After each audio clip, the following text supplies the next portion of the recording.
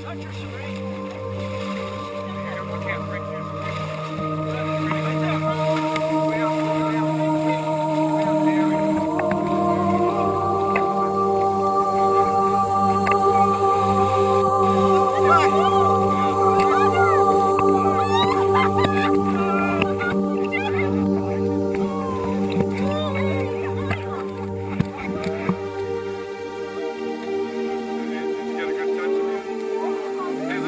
We're going to get it.